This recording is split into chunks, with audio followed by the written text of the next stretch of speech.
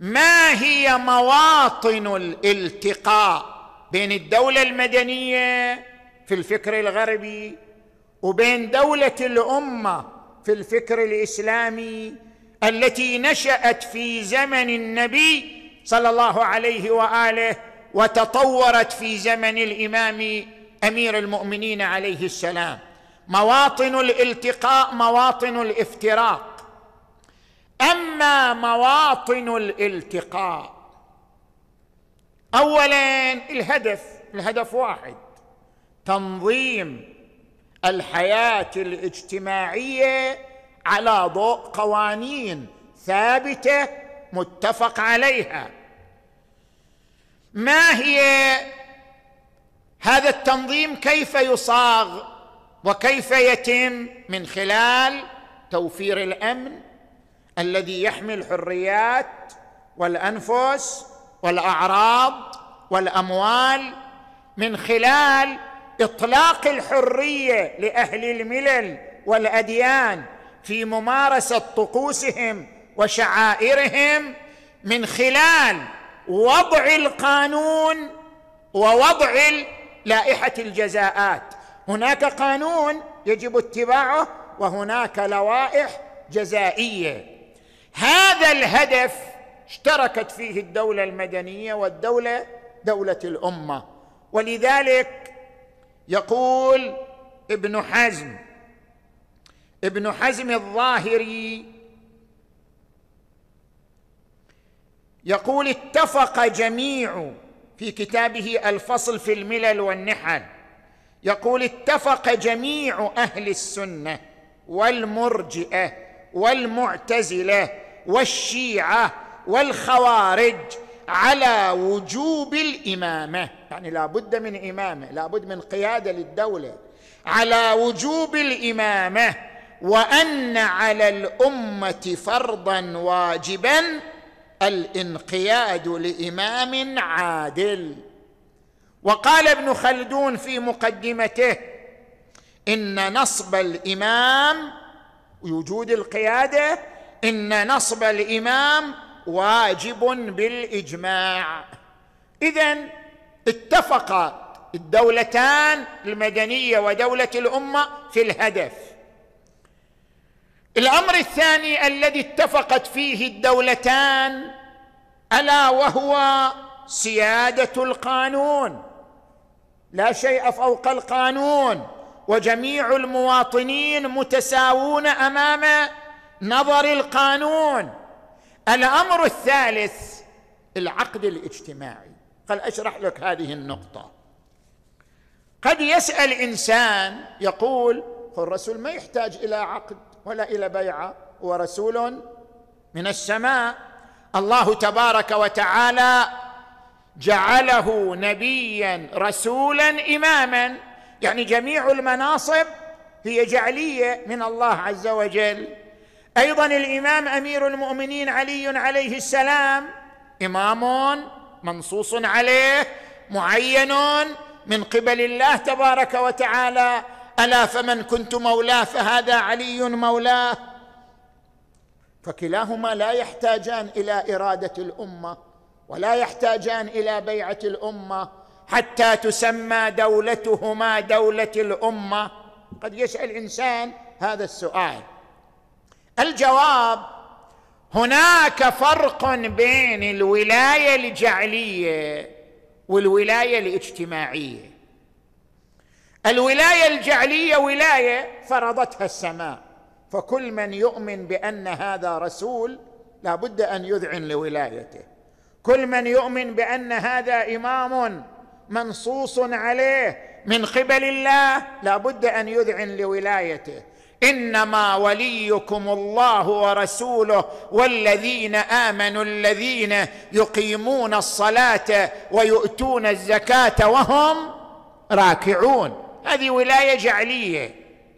عندنا قسم ثاني لا ولاية اجتماعية. ليش الرسول طلب البيعة؟ وما محتاج للبيعة. لماذا طلب البيعة؟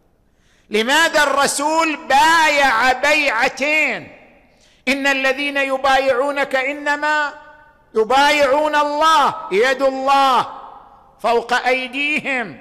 إذا جاءك المؤمنات يبايعنك على أن لا يشركن بالله لماذا الرسول طالب بالبيعة؟ لماذا الإمام علي عليه السلام حينما أقبل الناس إليه بعد رحيل الخليفة الثالث قال دعوني والتمسوا غيري. وعندما أصروا عليه قال تبايعونني في المسجد. لماذا طلب البيعه هو له الولاية الجعلية. الرسول وعلي صلوات الله عليهما وآلهما أراد تحقيق الولاية الاجتماعية. الولاية الاجتماعية عقد. شلون أنت مثلا تبرم البيع بينك وبين شخص؟ هذا عقد عقد ملزم. أوفوا بالعقود. شلون تبرم عقد إجارة بينك وبين شخص؟ هذا عقد ملزم. هذا الشخص كافر مسلم ما لنا خصوصية. أنت خلاص أبرمت بينه بينك وبينه عقدا. عقد إجارة عقد بيع عقد صلح. أوفوا بالعقود يا أيها الذين آمنوا. أوفوا بالعقود. الرسول في البيعة أجرى عقدا عقلائيا. ملزما لكل من معه. وإن لم يكن مسلما. وإن لم يكن مؤمنا بأنه رسول لكنه ملزم بطاعته بمقتضى عقد البيعة فهو عقد عقلائي. لذلك الإمام علي عليه السلام عندما طلب البيعة مع أنه لا يحتاج إليها ليلزم من لا يؤمن بإمامته. ليلزم من لا يذعن لولايته المنصوص عليها من قبل الله. يلزمه بعقد عقلائي. يسمى عقد البيعة مشمول لقوله تعالى أوفوا بالعقود لهذا الإمام علي عليه السلام احتج على معاوية ويحتج على معاوية بأي شيء؟ بولايته الجعلية. معاوية لا يلتزم بذلك يحتج عليه بالعقد العقلائي. أما بعد فإنه بايعني القوم الذين بايعوا أبا بكر وعمر على ما بايعوهم عليه فلم يكن للشاهد أن يرد فلم يكن للشاهد أن يختار ولا للغائب أن يرد. هذا عقد عقلائي ملزم. أنت ملزم به لأن هذا عقد عقلائي وإن كنت لا تؤمن بولايتي أو بإمامتي. زين. فاذا العقد الاجتماعي بمعنى الولاية الاجتماعية هذا أيضا أمر اتفقت عليه الدولتان دولة المدنية ودولة الأمة. أين الاختلاف بين الدولتين؟ وين مواطن الافتراق؟ الموطن الأول في القانون. كلا الدولتين يؤمنان بسيادة القانون. بس ما هو القانون. ما هي المرجعية العليا في القانون؟ المرجعية العليا في القانون في الدولة دولة الأمة في الفكر الإسلامي هي للكليات والخطوط العامة المستفادة من الكتاب والسنة المعصومية.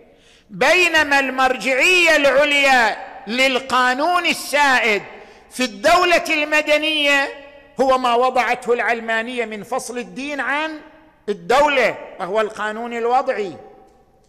الموطن الثاني من مواطن الافتراق المعارضة. كلا الدولتين يؤمنان بوجود معارضة. طبعا مقصود من معارضة يعني الحرب لا. معارضة يعني المجموعة التي تتولى الرقابة والمحاسبة.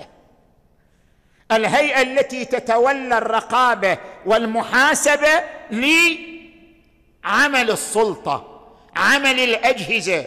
هناك هذه مسؤولية مسؤولية الأمة في دولة الأمة. هنا ما هو الفرق بين الدولتين في هذه النقطة؟ يعني في جهاز الرقابة والمحاسبة. في الدولة المدنية هذا يعتبر حق من حق المجتمع أن يراقب عمل الدولة أن يحاسب الدولة أن يطالب بخلع كل مسؤول لا يسير وفق القانون والنظام. حق للمجتمع. بس يمكن للمجتمع أن يتنازل عنه في أي وقت لأنه حق من حقوقه.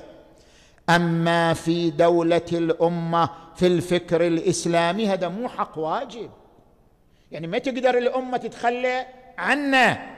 مسؤولية المراقبة والمحاسبة أمر واجب مسؤولية لازمة. لا يمكن للأمة أن تتخلى عنها. ولتكن منكم أمة يدعون إلى الخير ويأمرون بالمعروف وينهون عن المنكر. وكذلك جعلناكم أمة وسطا لتكونوا شهداء على الناس ويكون الرسول عليكم شهيدا. وسوف يأتي في أقوال الإمام أمير المؤمنين ما يؤكد هذه النقطة مسؤولية الأمة في الرقابة والمحاسبة.